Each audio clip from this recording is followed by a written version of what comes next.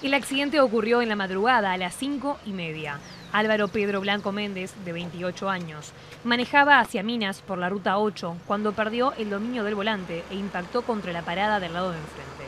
El hombre fue el único lesionado, debido a que a esa hora nadie esperaba el ómnibus. La parada es muy concurrida, especialmente por niños que asisten a escuelas de la zona.